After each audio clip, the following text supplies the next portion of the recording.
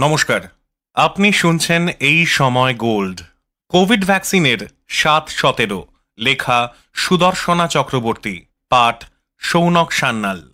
কার বানানো ভ্যাকসিন বেশি কার্যকর তা নিয়ে যখন প্রস্তুতকারক সংস্থার তু তু ম্যামে চলছে, তখন দেশবাসী অনেক বেশি আগ্রহী ভ্যাকসিন পাওয়ার খুঁটিনাটি জানতে।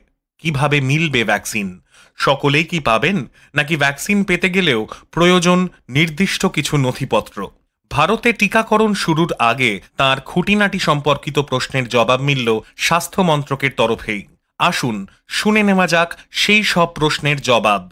এক, নথিভুক্তির জন্য কি কি নথিপত্র প্রয়োজন?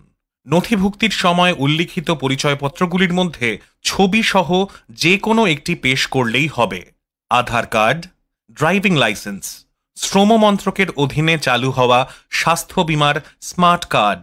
Mahatma Gandhi national rural employment guarantee, অর্থাৎ এমজিএনআরই জিএ জব কার্ড, সাংসদ অথবা বিধায়ক অথবা আইন পরিষদের সদস্যদের নামে থাকা সরকারি পরিচয়পত্র, প্যান কার্ড, ব্যাংক বা পোস্ট অফিসের পাসবুক, পাসপোর্ট, পেনশনের নথিপত্র কেন্দ্র বা রাজ্য বা পিএসইউ বা সরকারি ক্ষেত্রের উদ্যোগ অথবা পাবলিক লিমিটেড কোম্পানি ইত্যাদির কর্মীদের দেওয়া চাকরি ক্ষেত্রের পরিচয়পত্র ভোটার কার্ড এনপিআর এর অধীনে চালু হওয়া আরজিআই এর স্মার্ট কার্ড দুই, নথিভুক্তির সময় কি একটি ছবি বা পরিচয়পত্র প্রয়োজন? নথিভুক্তির সময় যে সচিত্র পরিচয়পত্রটি পেশ করা হবে, টিকাকরণের সময় সেটি আবার পেশ করে যাচাই করিয়ে নিতে হবে।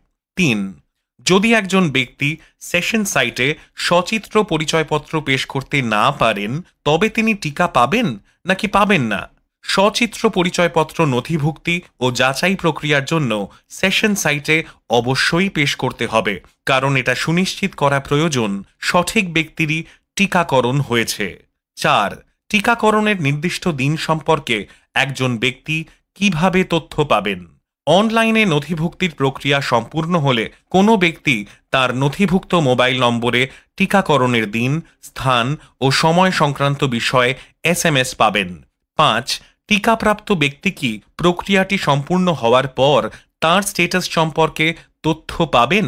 হ্যাঁ কোভিড নাইন্টিনের নির্দিষ্ট ডোজের টিকা পাওয়ার পর নির্দিষ্ট ব্যক্তি তার নথিভুক্ত মোবাইল নম্বরে এস পাবেন। টিকাকরণের সবকটি ডোজ সম্পূর্ণ হওয়ার পর ওই ব্যক্তির নথিভুক্ত মোবাইল নম্বরে কিউআর কোড ভিত্তিক একটি সার্টিফিকেট পাঠানো হবে। ছয়, কেউ যদি ক্যান্সার, ডায়াবেটিস, হাইপারটেনশনের রোগী হন, তিনি কি কোভিড নাইন্টিনের টিকা নিতে পারবেন? হ্যাঁ যে সকল ব্যক্তিদের মধ্যে এক বা একাধিক কোমরবিডিটি রয়েছে, তাদের হাই রিস্ক শ্রেণির মধ্যে রাখা হয়। তাদের অবশ্যই কোভিড নাইন্টিন টিকা নিতে হবে। সাত। টিকা নেওয়ার পর কোনো প্রতিরোধমূলক ব্যবস্থা বা সতর্কতা নেওয়া প্রয়োজন? কোভিড নাইন্টিন টিকা নেওয়ার পর অন্তত আধ ঘণ্টা বিশ্রাম নিন। টিকাকরণের ফলস্বরূপ আপনার কোনো রকম অস্বস্তি বা অসুবিধা হলে নিকটবর্তী স্বাস্থ্য প্রশাসক এএনএম অথবা আশা কর্মীদের জানান।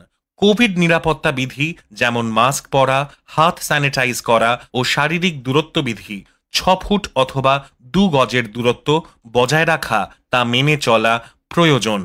আট কোভিড নাইন্টিনের টিকাকরণের সম্ভাব্য পার্শ্ব প্রতিক্রিয়া কি? কোভিড টিকা তখনই প্রকাশ্যে আনা হবে যখন এর সুরক্ষা নিশ্চিত হবে। এ কথা সত্যি যে ইনজেকশন দেওয়ার ফলে কোনো কোনো ব্যক্তির ক্ষেত্রে অন্যান্য টিকার মতোই হালকা জ্বর, ব্যথা ইত্যাদি হতে পারে। রাজ্যগুলিকে বলা হয়েছে কোভিড নাইন্টিন টিকা সংক্রান্ত কোনো পার্শ্ব প্রতিক্রিয়ার মোকাবিলায় প্রয়োজনীয় ব্যবস্থা তৈরি রাখতে হবে। নয়, টিকার কতগুলি ডোজ নিতে হবে ও কত সময়ের ব্যবধানে? টিকাকরণের প্রক্রিয়া শেষ করতে একজন ব্যক্তিকে টিকার দুটি ডোজ নিতে হবে, আঠাশ দিনের ব্যবধানে। দশ, অ্যান্টিবডি কখন তৈরি হবে? প্রথম ডোজ নেওয়ার পর, দ্বিতীয় ডোজ নেওয়ার পর, নাকি আরও পরে? কোভিড নাইন্টিন টিকার দ্বিতীয় ডোজ নেওয়ার দু সপ্তাহ পর সাধারণত অ্যান্টিবডির প্রতিরক্ষামূলক স্তর গড়ে ওঠে।